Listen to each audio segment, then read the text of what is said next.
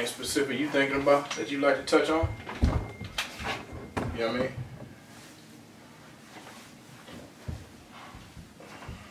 No, I mean, other than that, besides my events and shit that I'm just doing, I mean, I'm sure we'll get into all that Oh, at some yeah. point. Uh, but Yeah. you know, other than that, just for me, it's just what I'm trying to give back to. What, we, what I'm trying to accomplish. But All right. I'm sure all the conversation end up going hand in hand. No doubt about it. So Too close. I'm too close. Right there, good. You know me. I be that's why that's why I got my little special little thing right there. T. I be a little too loud. Let me see. Count off mode. Five, four. Five, four, three, two, one. TJ. one, two, three, four, five. Right there is good. All right. That's a good look. look. All right, cool. I'm trying to lean in sometimes. Gotta, gotta calm myself down. Let me get excited, man. So good. Sounds good. Okay. The thing going. Yeah, we can get it.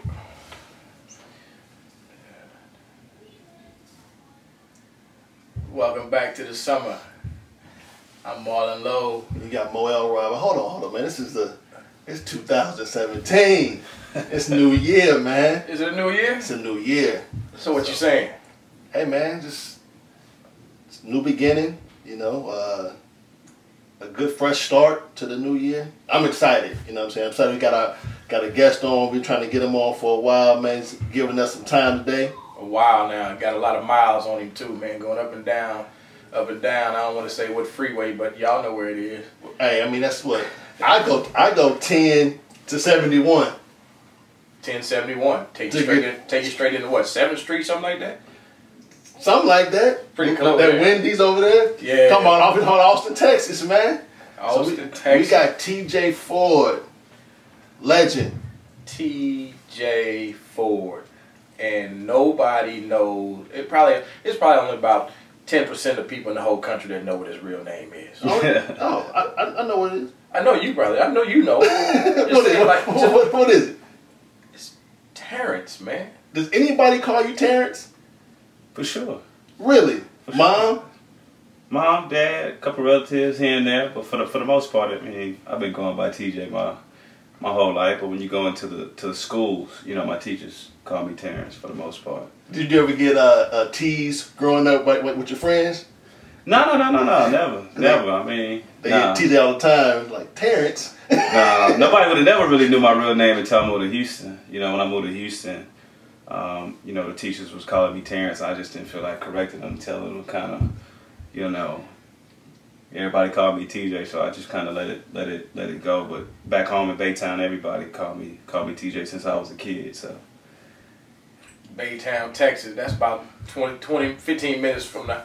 Basically, it's almost Houston, basically. But yep, on the outside, yep, yep. You know, small little town. so, Uh, what brought y'all here when you came to Tech? When you came to Houston from Bo- from Baytown to Houston? What what was what, what brought you? But the whole whole thing with us was, uh, you know, I got I got I got founded by a guy named Ron Lewis when I was, uh, in I think like fourth fourth grade, Mhm. um, playing three on three hoop it ups and and playing hoops around the city of Houston, and we was playing in older divisions, beating everybody. Me and my uh, my cousin and my two friends that I grew up with, and uh, he the one introduced us to to AAU basketball. So we was called the Saluki Jazz. So I'm I'm pretty sure everybody kind of knew about the Saluki Jazz here in town. So you know on the weekends we played at Sam Houston where they had Saluki the, League. the league with with Jay Bosco dad and. Mhm. Uh, you know, from there, when I got to eighth grade, you know, my mom decided that, you know, being in Baytown and she wanted to save up and, and try to buy a home. And uh, this, the place where she was able to, to buy a home was in this area right here in Missouri City. So Mm.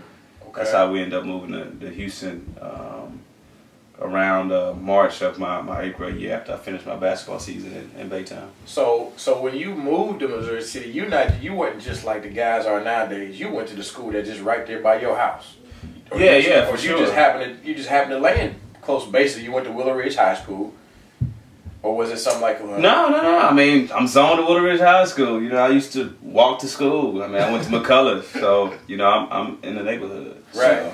And, and to your point, though, it wasn't like No, I didn't move to come Yeah, to play to basketball school. with Willowridge. No, my mom was able to go through a program and, and, and buy a, a, a, home for the first time. So that's how we ended up moving to Houston. Man, that's big. You say go through the programs. That's a whole other conversation. To a program to get a home for the first time, yeah. and it's just you, that was one of the biggest one of the biggest steps that you can take from a family perspective. You know what I mean? And then, like you say, y'all moved out there too. Yeah, I mean, I spent so much time in Houston. I mean, obviously, when you're in these small towns, I mean, you you have to, um, you know, the, the, resources here in Houston, and and uh, my mom just felt, you know, it was just going to be a better opportunity, which it it panned out to be.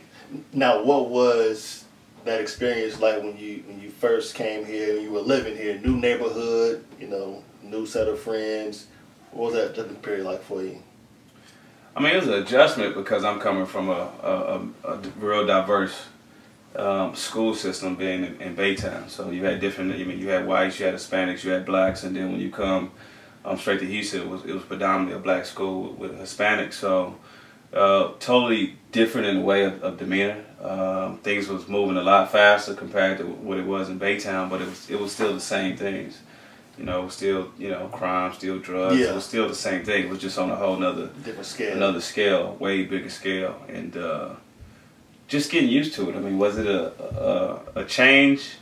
Uh, it, it, was, but you know where I'm from and the things that, that we talk, the way that we live in Baytown, for the most part, um, you know, you kind of just mind your business, stay out of the way, and, and, and keep it moving and you know just hang around the right people. So as far as that, that none of that changed for me. Now you and then once you went to Willowridge, you played on what's arguably one of the recognized as one of the best teams to play high school basketball in the state of Texas, and you played with a group of guys that was you know have went on to just like yourself played in the NBA. Yeah. Two other guys on the on the team that played in the NBA as well. Yeah.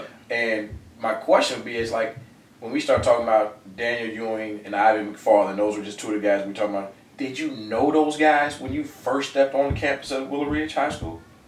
No, I didn't know Ivan. Ivan wasn't there right away. Um, obviously, I knew Daniel because uh, Daniel played with uh, Daryl Shepard, uh, Sheldon, uh, right before they had uh, Houston Select with Salinas. So, you know, he had his own youth team with Alton Ford and he had a good little group, and we played Daniel them at uh, Westbury Christian in the like AAU qualifying, uh, and he kicked our butt by himself. um, and that's when it was still me, it was still Carlos on this squad with the Saluki Jazz.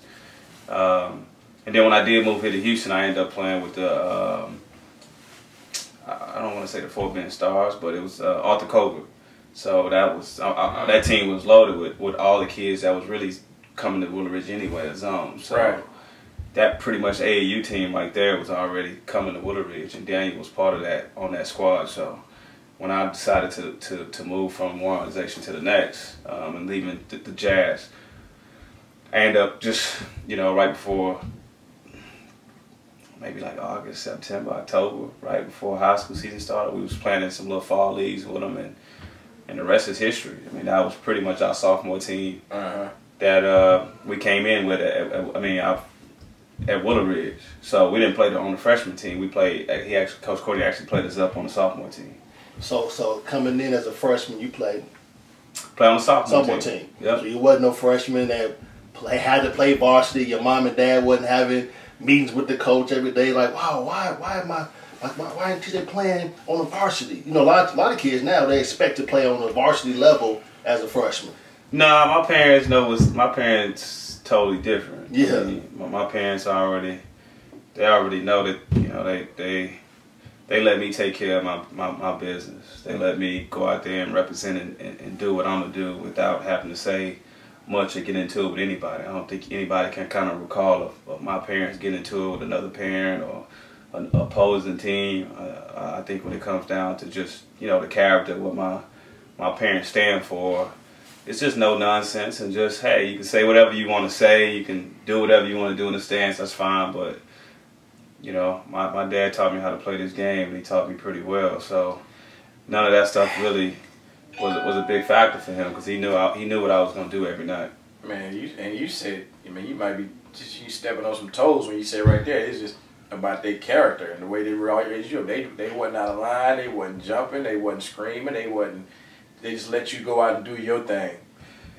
Yeah, I mean, at, at the end of the day, I mean, I'm on the court playing, You know, Right. the kids on the court playing, so they gotta either, you know, they gotta be able to do what they gonna do on their own. There's nothing you can you can do. I mean, obviously my, I mean, they knew I was prepared. They knew how how hungry I was gonna be. They knew the will I had to win, and they knew that I understood how to win basketball games, and I was willing to do whatever it takes to to win. And at the end of the day, they, you know, I was a sacrifice player. I sacrificed it a, a, a lot in my entire um, high school career um, for the better sake of of the team. Mhm. You know what I mean? So um, Go in detail with that. What, what you what you mean? What what you say? I didn't average a lot of points in high school. I Mhm. wasn't the best player on my on my high school team. That was Daniel Ewing. I think everybody in the city and the state felt that Daniel Ewing was the best player on the Willowridge Eagles team. Mhm. Uh, Carlos Hurt was the best player in the city of Houston, probably. I think even in the state. I think it really went him, me, Daniel, and kind of however you want to flip flop it. But um, that's kind of, you know, that's, that's kind of how it was. So, you know, that was my drive, that was my motivation. But uh, for me, it, it's not. It, it's competing, and And speaking of competing, like you did your thing, and I know it's been a long time. People always used to go back and forth. T.J. Ford, Carlos Hurt. T.J. Ford, Carlos Hurt. Now, what type of relationship did y'all have from an individual perspective, and then from a competition perspective? Do you think he's one of the toughest guards that you had to, that you faced in, during your uh, high school career? As far as that, Um, I mean, me and Los grew up together. That was my that was one of my best friends growing up as a kid. There so we spent a lot of time at each other's house, spending the night, and whatever he did, I did Mm. as a kid. Um, so you know, for me, I- it's it's I'm always gonna be competitive with my friends first. First and foremost, my friends is gonna be the ones that I'm most competitive with. So, far as between me, Daniel, and Carlos Hurd, it was whether we was playing pickup in the gym or we was playing an AAU tournament, we was playing at high school, like we was trying to kill each other. That's just that's just no ifs, ands, and buts about it because uh, when we, you know, what we all believed in, when we all together, we, we, we move as one. Everybody sacrifice, whether we're on the same team. But um, I think the way it was set up for us was the way our mentality was is you play AAU basketball uh, with each other, and then it, it's everybody sacrifice. So when you go back to your high school is when you're supposed to be the man and no doubt. and do all the things you're supposed to do. And uh, you know, obviously, you know, we played each other a lot in high school. So Do you see those things today? Like you said, good friends hanging out with their competitiveness, they trying to go at each other. And do you see the same type of, you know, uh, Competitive nature, competitive nature in the kids nowadays as you had, or is it different? If it is it stronger? Is it tougher? You know what I mean? Because I just think the AAU mentality is affecting that aspect of of of that what we're talking about. but what do you mean by that? Um, Because it's obviously it's people. these kids don't ever get to play against each other. I think everybody wants to, you know, brag or I don't want to say brag or, or or I mean, how many of these kids actually just play each other? Just who cares who's better? It doesn't doesn't really matter who's the better talent or this guy's ranked higher than that guy. It doesn't matter up. at all. It's just are we really putting kids in position to be successful through AAU and even through high school basketball? Right. Um, I think in order for this stuff to get, get better for the future and for the kids and for families, the relationships between AAU and high school, it has to get better because everybody has the same objective, and that's to help the kids and try to help them improve and be successful in life. That should be the ultimate goal No doubt. going forward. But it's a it's a um, it's it's a it, it's a battle. Mhm. It's a battle that it really really shouldn't be. Mm. 'Cause- uh, 'cause in my- my opinion. Yeah, my in my perspective is is, is very similar. I think that um, organizations are too afraid to have their their players match up for the sake that some kid outshines the other kid. And then the mixtape comes, and then the ranking comes, and then so many different variables where we never get a chance to really just play for the sake of just playing and competing. No doubt. Because people are trying to say, I don't want to match up against Daniel Ewing because if they match up, he might get the best of him and that might affect his ranking and he may not get this and he may not get this offer when it just be about just playing the game. It's about making each other better. Yeah. That's it.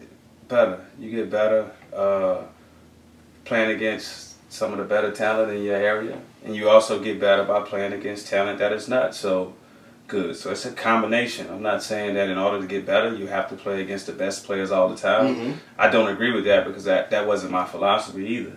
You know, I, I kind of did a little bit of both. I think you got to have both. I think what happens with kids is kids do not know how to be.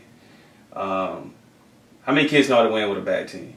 Mm-hmm. Mm. How many kids know how to win with a good team? Mm-hmm. Both of those are two So needed assets. You got to have those in order to be able to be really to know how to play the game. You got to know how to be able to turn it on and be able to lead somebody when you don't have a really good team and have everybody. When you have to, when you play on a really good team, you got to learn how to play with other stars, other people who are capable of doing what you do better than some other thing. You got to learn how to have a. It's a mix of them. I think a lot of kids are missing that nowadays. They all. I think a lot of teams, kids sometimes just want to be on super competitive teams the whole from the start, winning teams from the start. that's okay. I mean, whatever floats everybody boat, it's, it's fine. But you know, as as adults, how can we create every? I, I hear everybody saying what can change and what needs to change, but how many people actually believe in the same thing and line it up, and those those people Mhm. make it happen? So. Right.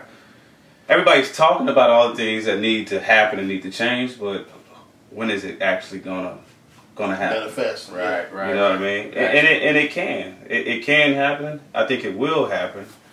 Uh, it's just at the end of the day, that's we we just have to like get everybody to truly understand when it comes to sports, what is what are you supposed to use it for? I mean, you know what I mean? Like you're Yeah. supposed to use the game to get a good education, to have good relationships, to meet people, to expand your horizon of what you've seen as as, as a kid leading to adult. Um, these are all the things that AAU provides and should be talked about um, more of, of the experience that's being provided instead of just the the basketball controlling the whole aspect of it because 99.9 of them ain't they're not making it to the NBA. mhm. Um, but I, I think if you align all this stuff up, you we can give a kids a better opportunity to be more than just a basketball player Mm-hmm. and have aspirations of just being an NBA player. It, you could be you can have more aspirations in this game of basketball um, that will allow you to have some type of success. Whether you want to do a podcast like you guys doing, like if you want to be, you know, AAU coach, a college coach, a writer. It's, it's a lot of stuff kids can do now. They're not they're not as limited as it was for us of just having to be A an player. NBA player or a basketball player. So fast forward, you won a couple. You won a state championship at Willowridge. Mhm. You come out. You go to the University of Texas. Was Tex? How long was Texas on you before you decided to go to Texas? Were they on you for the whole year? Did they just come in at the last minute? Was that a dream school? You know, people always say dream schools, and you didn't go. You didn't go to the University of Houston, which is right here in your backyard. You didn't go to A and M. I mean, how did how did all that transpire? Um, a little different because I was a highly ranked top 20 player my entire high school career. You know, I'm one of the, I think I was the second. I think it was just me and Brandon Bender.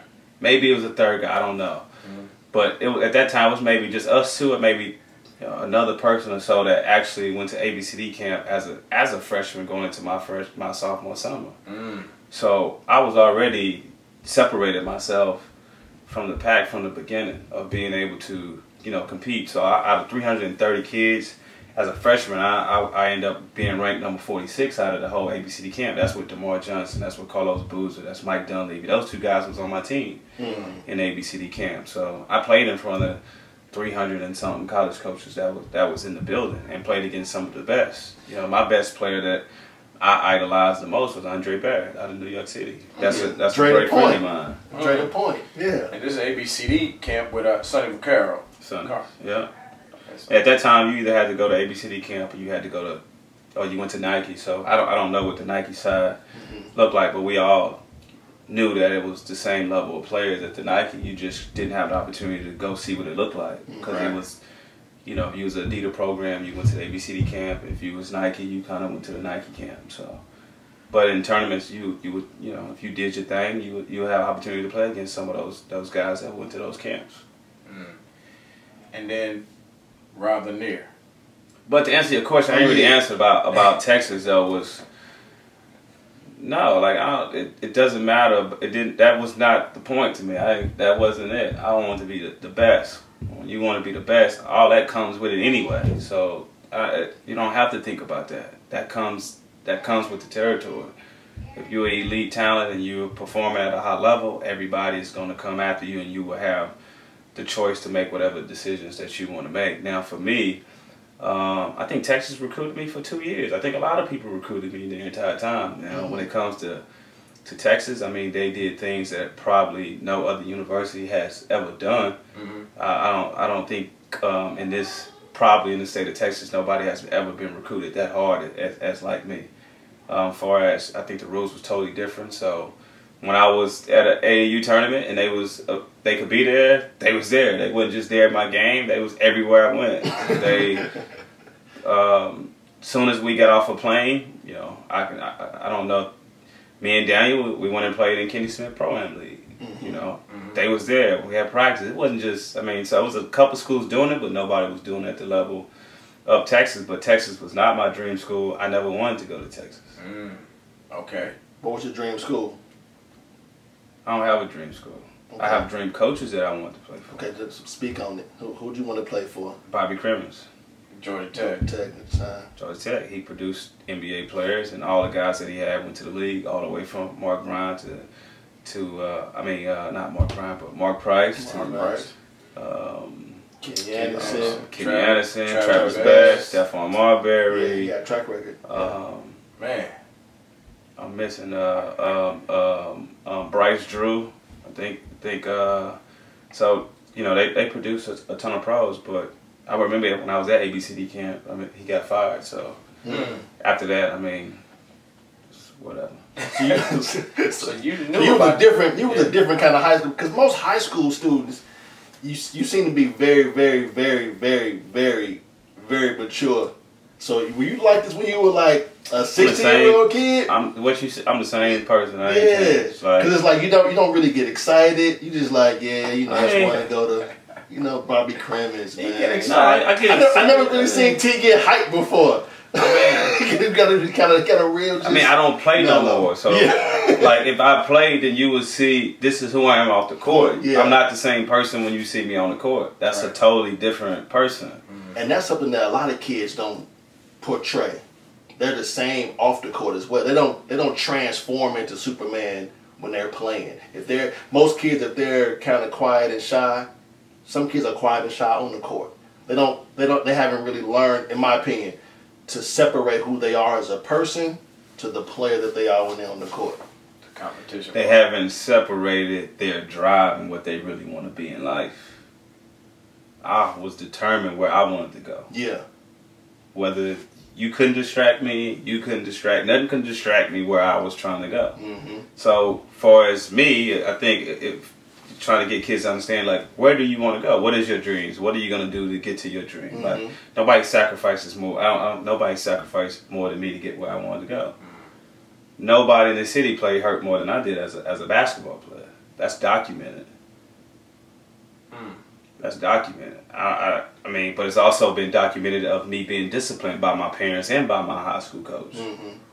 for not doing the right things from a character standpoint. Mm.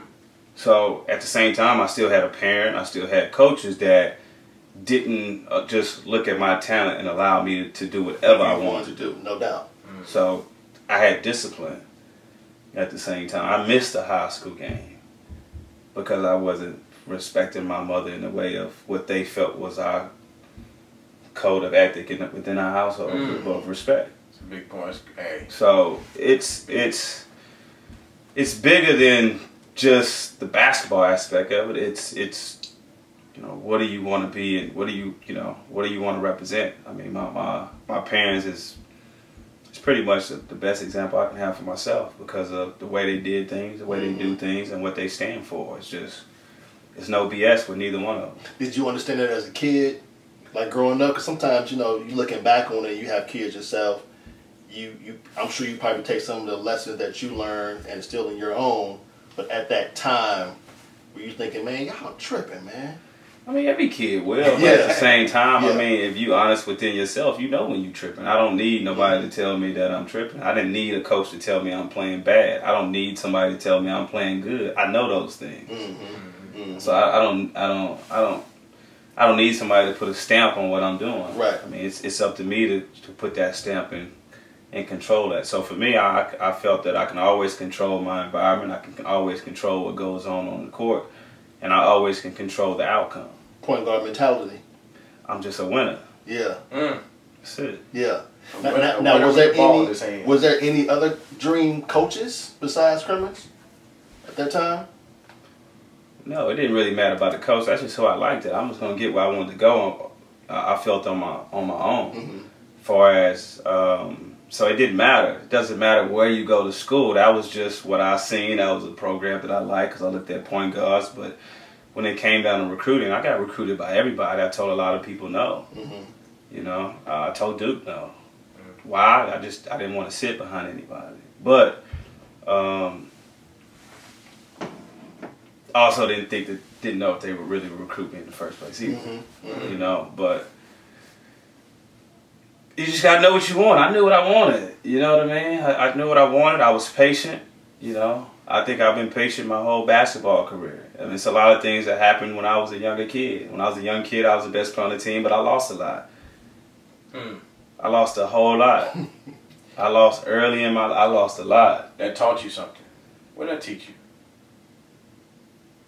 I mean, doesn't matter. You gotta you, you gotta perform. You gotta find a way to win, and you gotta figure out how to make people better. And I'm used to people stacking teams up against me. As a kid, they did it. Just I didn't AAU basketball. I mean, that's just even in leagues that we that I played in growing up just to get started. Mm-hmm. So, um, I just love the game of basketball. I love competing. I love having fun. I love the cheers. I love the, the energy. I love the booze. I love everything that came with it.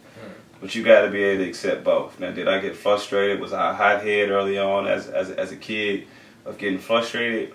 Yeah, but that also allowed me to develop um, when I when I got to high school because I didn't seen it all. I didn't been through it all. You know, I didn't. You know, I'd been on the worst team. I didn't been where refs didn't give me calls. I've been ejected before as a kid. I didn't went and out of the out of the country, well, out of the state, and go play. And we brought some other players in, and I didn't play as many minutes. So I I experienced all of that stuff. That helps helps make the make you the person that you are today, from a mental and from a physical standpoint, from a basketball perspective. Jump back to Texas. Yeah. Your freshman year. How far did y'all go? Sw- Uh, Sweet 16 Sweet 16. could have made it to the Elite Eight. On that team, who was that? Give me those names. You remember those names? Was, was, On my team? Was Royal on that Oh, team? Royal Tom- Ivey. James? James Thomas, Brian Boddicker, Jason Clark out of Klein Forest, Deginald Erskin, Brandon Mouton, Terrell Ross out of uh, the East Coast. He's smiling, guys. I see, the, I see the Uh, memories coming back. Um, Sydmill Harris. Yeah, I remember my squad for sure. Chris Owens was there as a freshman, but he got hurt. And this was and this was TJ Ford with the braids. So these guys that think that they Yeah. that they that they bought that that they that they fresh and new with these braids in their hair have no idea that TJ Ford had these braids that came yeah his came down to his shoulders too. so and then when y'all when you how was that collective unit TJ? Tell me about just your, when you first stepped on campus and y'all started playing and you didn't know those guys most of those guys and you was like yo this is I mean, a a lot of it is just to go back to my recruit. It's just like I, I didn't sign early. I told everybody I was signing late, um, and, and for me, it was more my that was more my dad call. So a lot of schools really just stopped recruiting because people didn't want to wait that long. uh-huh Um, so it, it came down to Texas, Cincinnati, U of H, Texas, and Louisville. That was the only four schools that I really had when it came down to the end. I, I think um, for me, um, I think every kid should should have U of H somewhere in their top five to go visit that school. That's just that just only makes sense to Mhm. me.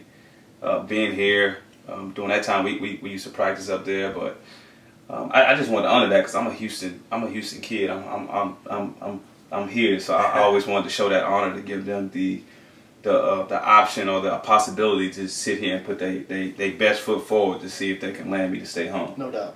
Um, but I don't think people understand also the, the, the, the, pressure. I mean, I went to University of Texas. I mean, obviously, I made it work, but nobody in the city agreed with that besides me and my parent, my family. Nobody, everybody else said I was crazy for doing it. Nobody, mm-hmm. nobody cheered that decision on um, at all.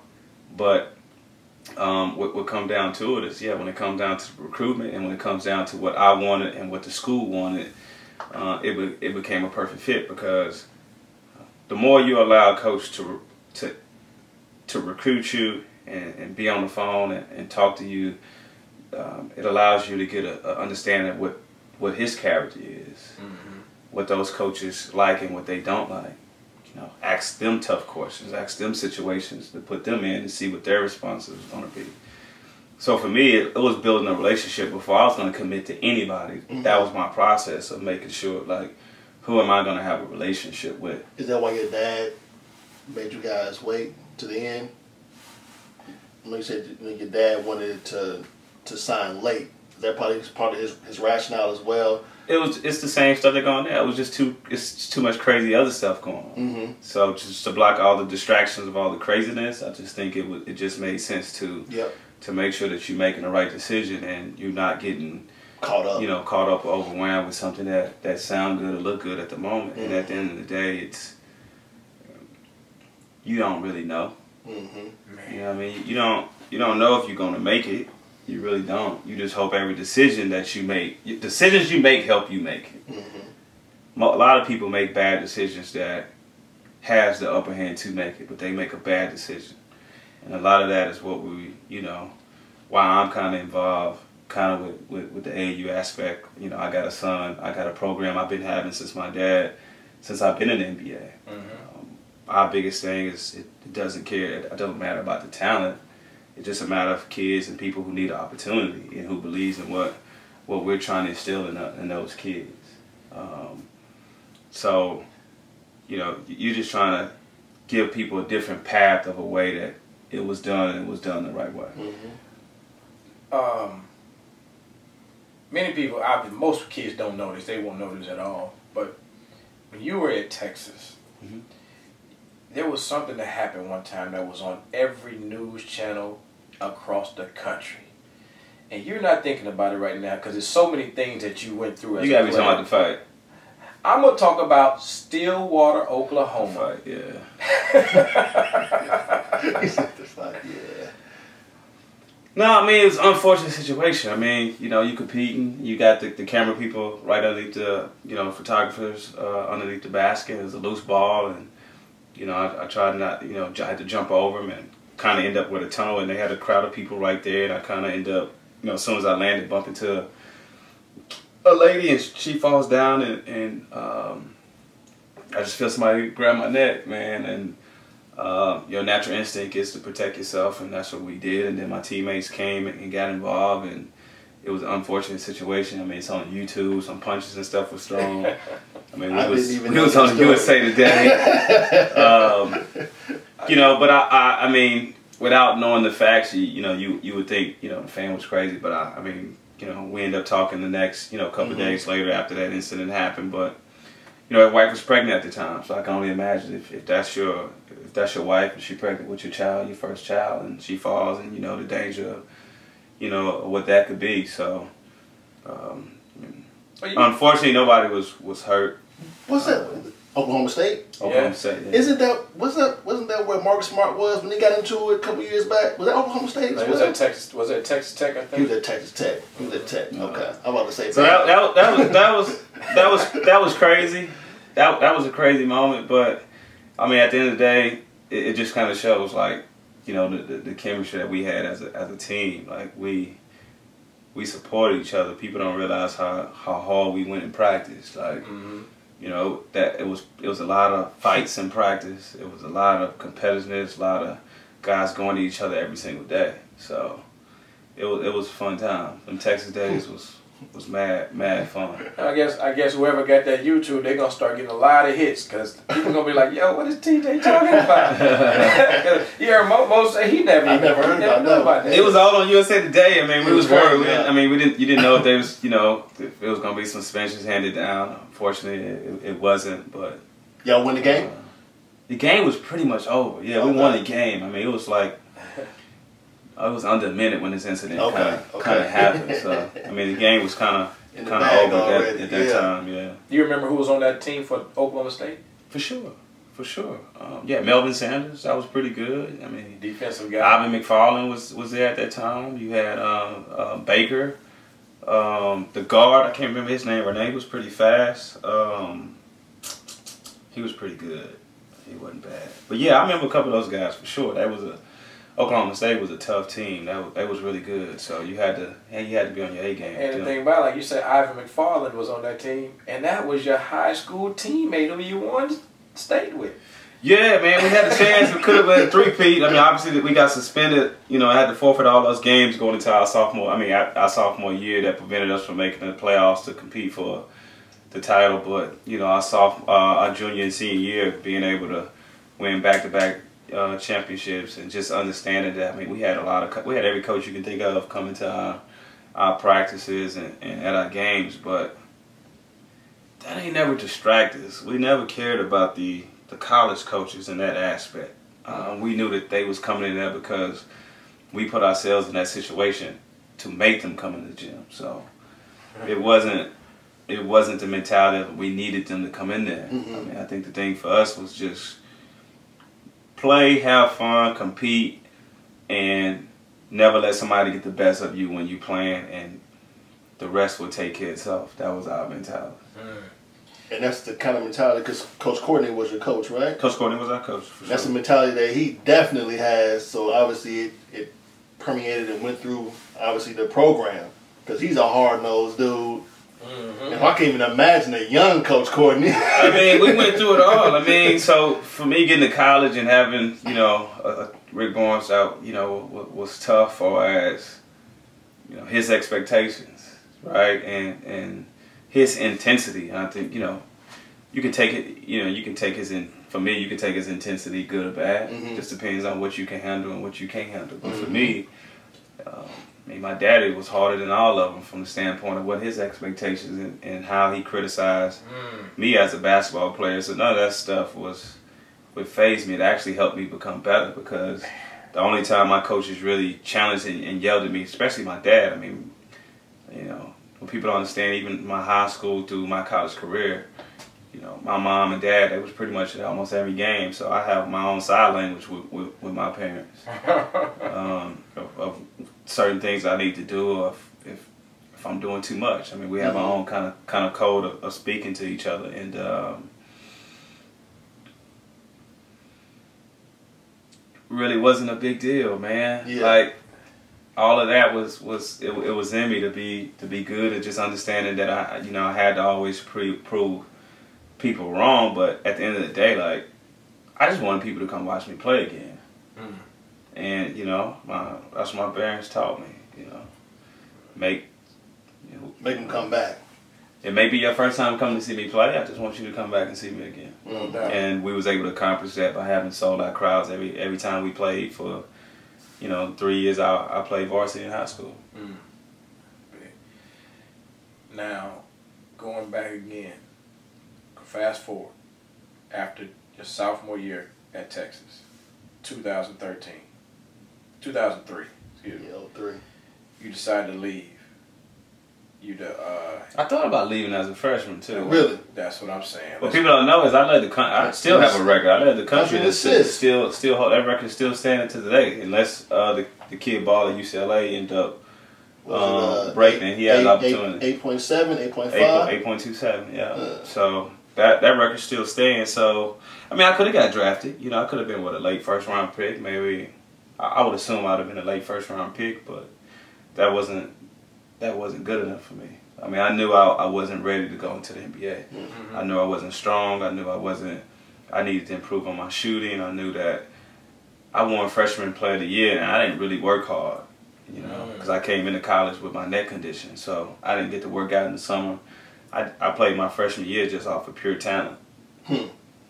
I didn't really spend much time in the weight room. I mean, I practiced hard, but I really didn't. So, for me, I just did it off of pure talent, and I just realized like this is this is what it is. I can I can really turn it. I, I, can really it's, mash it's a whole gas. nother level that I know I can I Yeah. can get to. Yeah, yeah. So then, your sophomore year, was it hard to leave because you got drafted number eight by the Number Milwaukee eight. Bucks? No, no, it wasn't hard to leave because I did everything to leave. I, I, I said at the end of the day, me going to the NBA, it's I want to have the option to go to the NBA. Mm-hmm. I want to be able to put myself in a position whether I want to do it if I if I don't. So for me, it's it's the preparation way before you get to the season. Is what we're talking about here, especially with, with even all these kids. It has nothing to do with the season.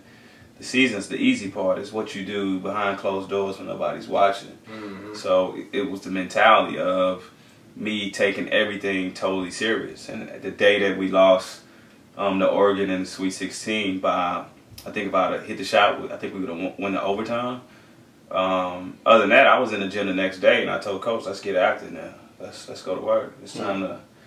And people don't understand how many hours I put into it. You know, I changed my entire shot, but that, that was hours. That wasn't something that just happened. I mean, Mhm. that was probably putting 40 hours a week just late at night, sometimes 2 in the morning, 3 in the morning. Mm. You know, sometimes I always work out after practice. There's never a day after practice I don't do nothing, Even in high school. period. Practice over, see, it's and- my time. And that's my the, and to- that's the reason. That's the reason why David Stern didn't call my name. Because I always thought that I did enough at practice. I never did anything outside of practice in high school. I just practiced and that was it. And so I understand the mentality and what I don't. Not not saying I know what it, what it takes, but I understand better now that that ain't enough, dog. You know what I'm saying? Oh, I mean, no, today ain't enough. You gotta do more than just practice. it's a lot of kids doing more, but it's not efficient and effective. So that doesn't necessarily mean anything. If I mean, it's a lot of kids doing a lot of stuff that's not getting anything out of it. They're just in the gym. That's that's I think that's what we're talking about. Yeah. I think um, when you however you want to put it, I think Mhm. it's, that- that's happened a lot in high school basketball, AAU basketball, and kids that's not playing AAU basketball. It's a lot of kids doing things that um, it's good, but it, it doesn't translate into It's kind of counter. making It's kind of counterproductive. better. Yeah. Hmm. Um, I listened to one of the topics, y'all. I, I don't know if it was this show or the, or the Chop Shop. Um, I think y'all, somebody was talking about, about training, you know, and, and how that's, you know, everybody's opinion on that. But you go wherever you feel you're gonna get, you can get better. Um, I think right now, um, I use training because I love being in the gym. hmm I want to help. I just want to help people get better. No matter if that's your program, any, anybody's program, you you're more than welcome to come in. And I think it's a it's a thing when it comes down to the, the territorial aspect of, of the kids. And you know, I sit on this show and I like I don't, recruit any any I don't recruit kids. I mean, if it's some kids that you may see me working with, that may be on a whole nother level of what that kid may need or that kid may have communicated with us of, of something that maybe he hasn't communicated with the people he's around, whether it's his family, whether it's his mentor, whether it's AAU coach. So if you see somebody around us, it's, it's, it's something to need. So we're kind of like the desperate person that when something's going right, you know, how can we, how can, you know, if you need some instruction, how can we help you do something different? hmm necessarily like, you know, yes, do I have an AAU program? Yeah, I do. I always had an AAU program, but it's about us mentoring mentoring the kids in so many different areas that I feel a lot of kids are, are, are lacking just from outside of basketball. So since we jump into we, we we're on you have an AAU program, I have a question. Yeah. How do you feel when you got some of your colleagues who played in the league with you, Mhm. and they just bash AAU is bad, AAU is terrible. You got a lot of these guys, um, you know, that, that say those things and that, and you are a person that played in the league with them, whether with them or not, and you come back and you're helping and giving and doing something for youth in Mhm. general. But you have people that have not ever came down and coached an AAU game, haven't been around these kids like you have, Mhm. but they sit up there, they tearing it down like we, it's a bad culture. Is it? Do you feel like this is a bad culture, or what is it that you that, do those? Do you, when you hear those things, do, is it anything that makes you feel a certain way about it, or are you just like okay with them saying that? Good question. Um, I think if you experience the things that an NBA player has experienced mm-hmm. on the court, after and off the court, it it trumps a lot of stuff because it's a lot of things in AAU basketball, high school basketball that I think coming from our perspective, y'all may not be able. I ain't gonna say y'all. I'm just gonna say that summer basketball you can't express certain things to these kids. Mm-hmm. And I think a lot of stuff what we're talking about is I don't think it necessarily mean the basketball aspect of it. It's the craziness. I don't think that's what guys are talking about. I don't think guys are saying, Marlon Lowe, you can't coach, you can't do that. I, I don't I don't I think the context and the content is not the basketball aspect of it. It's the all the other stuff that determines the outcome of these kids' lives. Far as, you know, everybody talk about a kid jumping from here to over there to over there. Does it really matter? Really, I mean, shouldn't unless it's your kid. Right. You know, unless it's your seed. If a kid want to go, oh well, it's- it, so what? So be it. But I think what we're talking about is we're allowing kids to jump, jump, jump, jump, and this situation is really not better than that situation. So I think as a whole, if it's your program, if it's the I don't want the names, but if it's just program B and program C, uh, if this person can offer a little bit more than that kid, and that situation may be better, I think what we're trying to say is how can we create a better situation to give every kid the best possible need for them to be kind of su- successful. Whether you're traveling, whether you're not traveling, these kids need more than basketball because we're talking about 99.9 of kids ain't going to the NBA. Right. So how many of these kids are coming from programs that are actually graduating? So I think from an NBA perspective, we're just telling people to, we, we just want everybody to understand the real. We're selling false hope. So you you talk to me about my aspiration, like yeah, I want to be an NBA player, no doubt about it. But I wasn't looking for you for guidance. I wasn't looking for you for guidance. I wasn't looking for my AAU coach for guidance. Like that that was in my inner self. Mm-hmm. That that was that was my work ethic. Now, did somebody take me to the gym? Yeah, but I guarantee you, I spent more time training myself in my driveway, Mm-hmm. Dribbling down my street, putting a hanger on my door inside my house, and balling up a sock. No doubt. Is where I feel I got better mentally.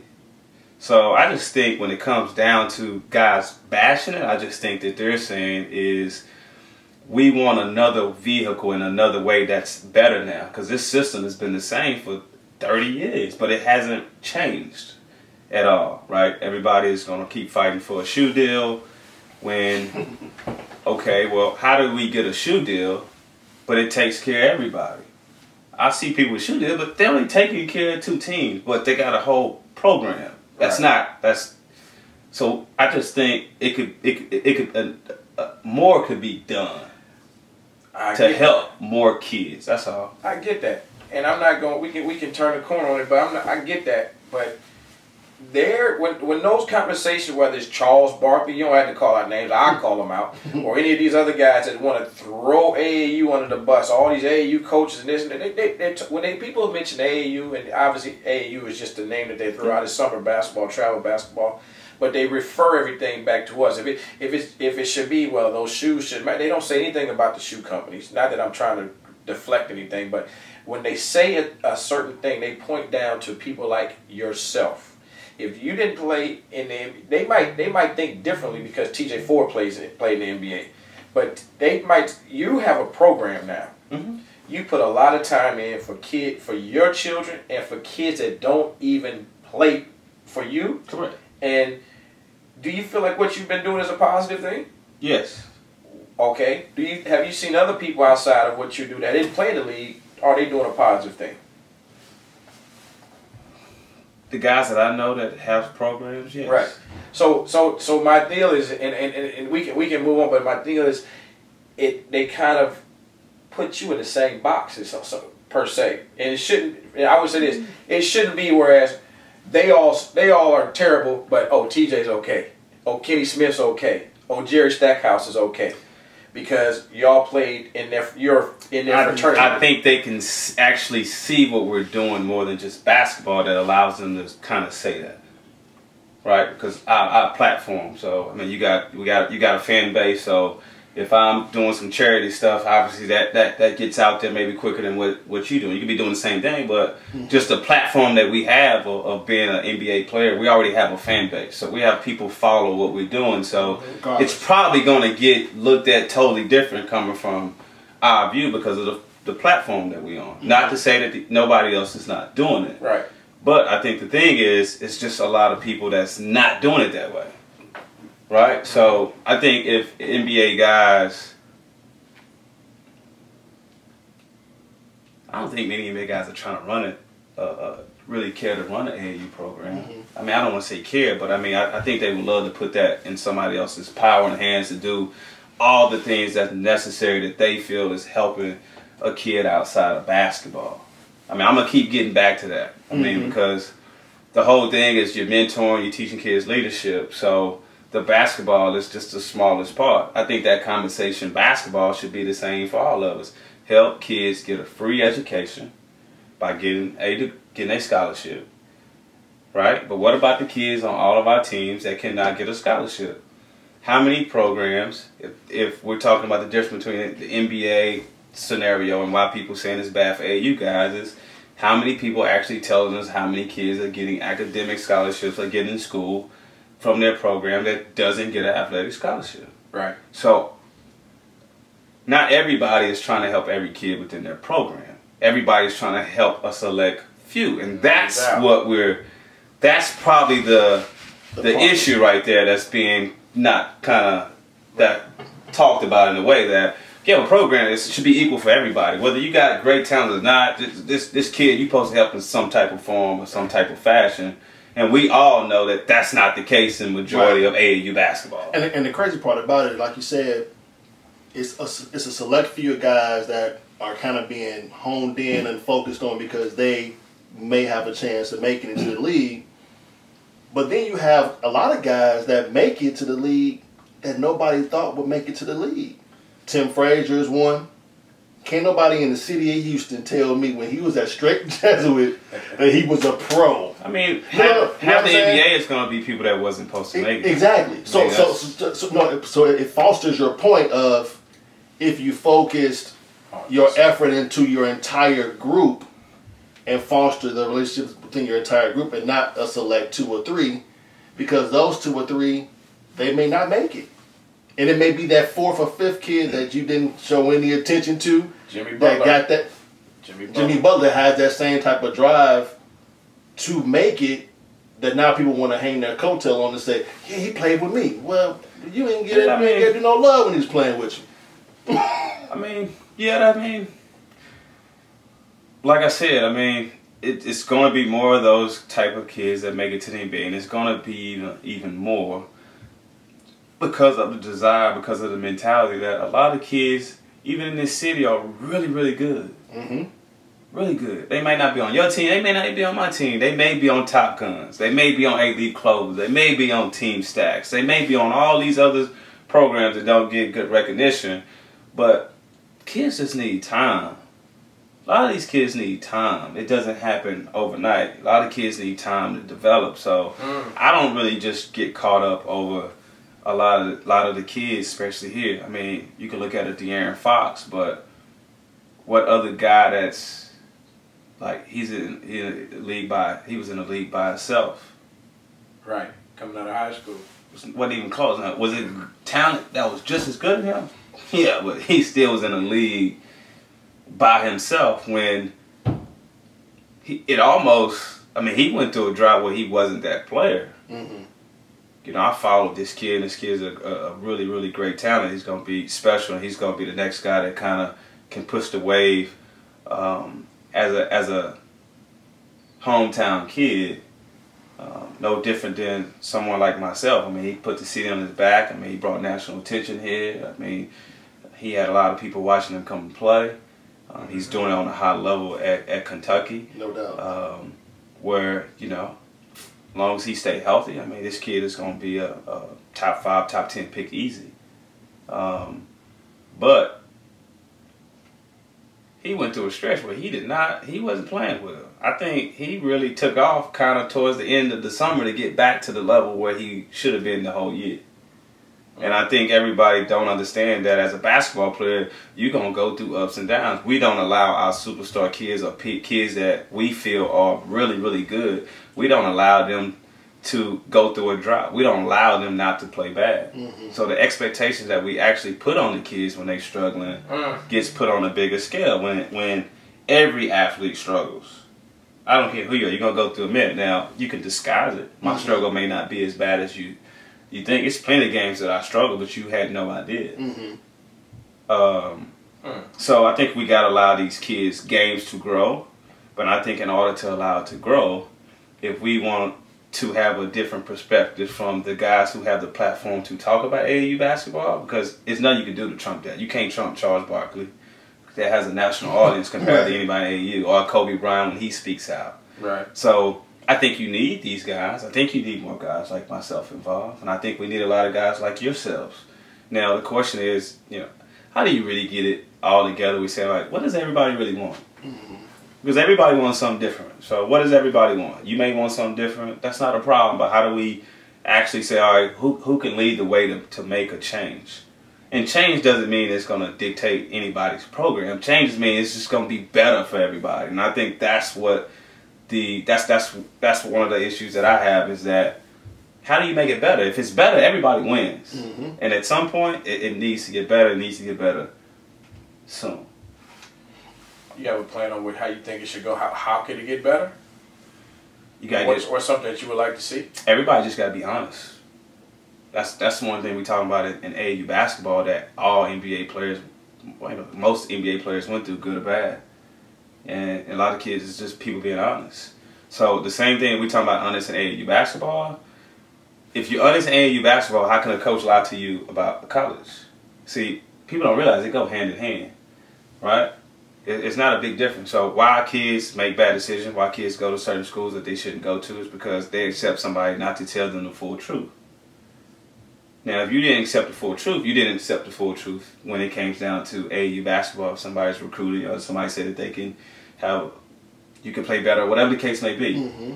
Uh, it may not even be basketball. This guy may say, I make sure you take SCT everywhere. I, I don't know. You can make whatever it may be, but mm-hmm. A, a, lot of people don't. We, we, we got to teach them the, the fact of how do you, how, who's teaching kids to really know how do you make a college decision?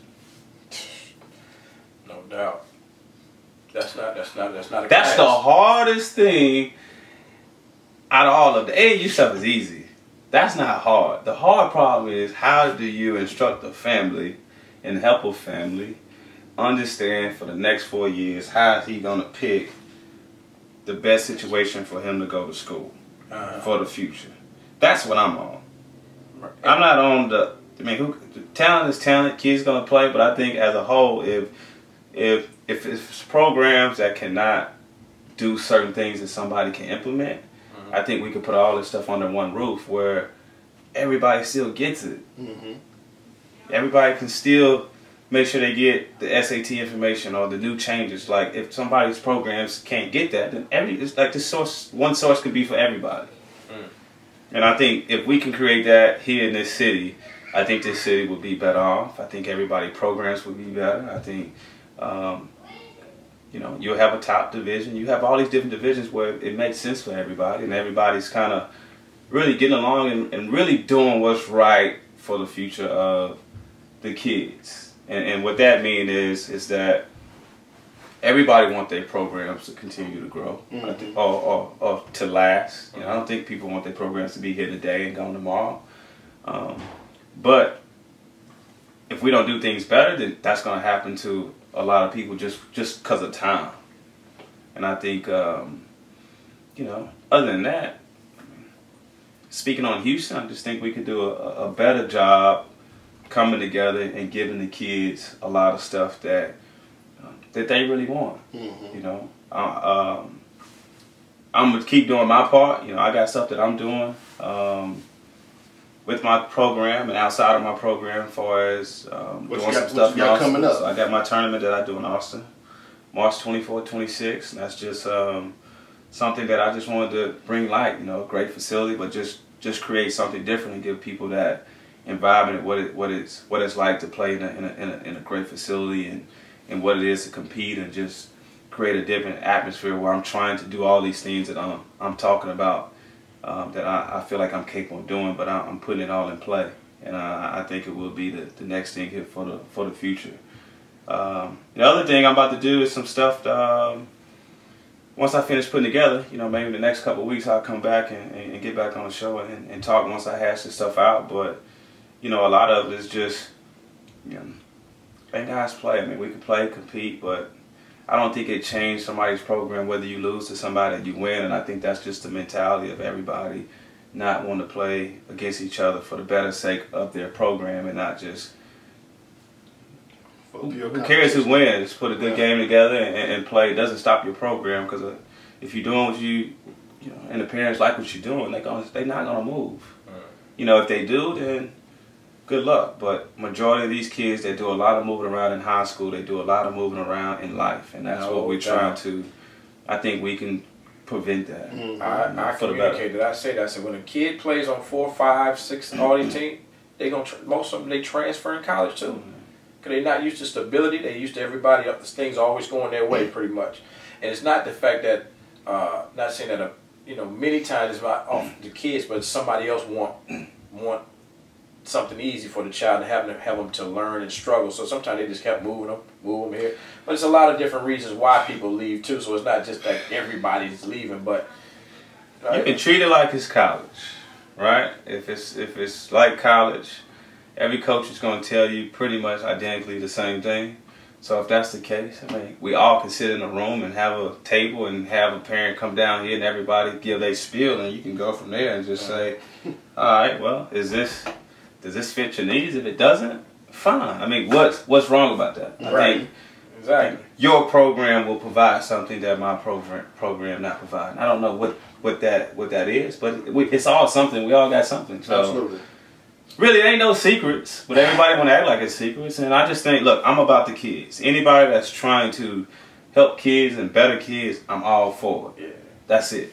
And which people can line that up and put something together that the city can be proud of, and at the same time, these kids can have something that when they look back 10 years from now, they'll be able to be on one of these shows or have their own show and talk about the good times and the good things and the memories that they had. No doubt. And I think that's what we're going back to. That's that's that's not now, right? Mm-hmm. Right. Like I never seen J.J. Caldwell and De'Aaron Fox and and a lot of these kids really just play against each other.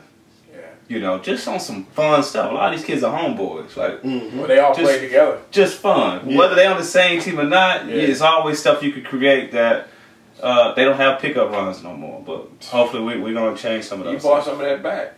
We're gonna bring it that back. We're gonna bring it back. You know, I got the city league that, that we did right before we did in September, where you allow kids to come in. I think it was like twenty five dollars uh, to come in and just just play and compete. You know, and it's just about um, and and hopefully you know you guys are setting a meeting up with everybody. Um, As long as I'm in town, I, I I'll be there and want to hear everybody's thoughts. But at the same time, like I just want everybody to know, like, look, I'm here for the betterment of of the city and the kids, and there's some stuff that is dear to my heart, and that's coming from the whole stuff that's outside of basketball, and that is. Um, making sure kids understand the importance of building relationships, having good character, and teaching kids of doing things the right way, and, and even if you fall, um, having a support system when you when you do fall, and, and being honest to the kids and to the parents of understanding that you know everybody's not going to Division One. It's okay to go to Division Two. Some Yeah. kids shouldn't be waiting. Some kids should. Right. Mm-hmm. Uh, and I think as a whole, we can all sit in this room together and explain this to all the parents. This should be one big old Houston City meeting where everybody's explaining all these things in front of all the parents at, at one time. Right. But thank y'all for having me. I wanted to break the new in with you guys. I know I've been busy, and uh, anytime y'all y'all need me. It's a lot of other stuff that we ain't get to touch on. Oh, hold And on. I'll be able to spend more time with you guys. I want to get. uh, I want to give me one more minute. I got a couple quick hitters for you because, like you said, Alright. we didn't talk about any of your NBA career hardly, and that was a hell. Of- You, you, you, it was. Well, let's do part two. Cause I got, I got, I got Here we go. Whether y'all want to do it tomorrow, or y'all want to do it tonight. I, but I can't, I can't be late. I can't be late to this one. We ain't And tripping. we can talk about all that uh, Get it out. for sure. But whatever, I'm, I'm an open book. I, I'm just like I said, I'm just this kid. I'm homegrown. Everybody seen seen me grow. Everybody um, seen me as a kid. Obviously, I, I, I, I did some things that you know I didn't imagine that I would be able to do, but. Uh, to be able to go to a university and make it cool for every kid to stay in the state of Texas, to do everything, you know, opposite of what the trend and create my own trend, um, it, it- it's something that I think has some value, and it's just a matter of, of, of, of you know just getting information out. I can't use it anymore, All right. right? I, I can't use none of it. I just want to pass it on of, of you know my thoughts, you know my expressions of what I feel, and that has nothing to say that you know your thoughts or your thoughts are not right. It's just look, I'm, I want to tell you from my perspective of the good and the bad. Yeah, I can tell you all the good stuff that happened to me about basketball, but what about all the, the, the dark days that Right. that makes you think twice about it? Mm-hmm. And that's stuff that I kind of want to talk about because that's the aspect that help kids mentally become better. Well, that's what we're gonna do. We're gonna get you back Part on two. because they need to Get hear back, just let me know when. Team Like, I don't want to be late to three thirty. Like, hopefully, I ain't. But anytime, like I said, I, just call me, man. I'm, I, I'm, I don't stay far, and hopefully, man, I get you to start, You know, been around and support some of the stuff I'm doing, and like I said, it, it's vice versa, man. It's